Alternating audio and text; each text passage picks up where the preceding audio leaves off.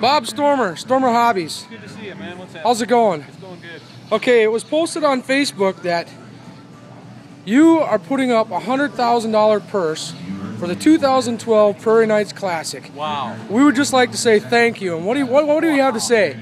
Well, I'm, I'm just happy that Jason Chang is subsidizing the whole amount of money. Jason Chang and Bob Stormer. Okay, we'll have to update that now. Yeah, no, that's that's pretty much the status. Chang said he would donate the Chang's whole thing. gonna do donate the And whole thing.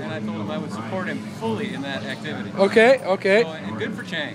Good for Chang. You know, because a lot of people think he's a dirtbag, and I'm just so proud of him for doing that, being up there for the sport. You know, I would never say that. He, he's come a long way in the last three months. He really has. Getting back into the hobby after what seems like a century of absence. I'm just happy to see him back in men's clothing. Men's clothing, that, yeah, that's a, that's a bonus. So that's good.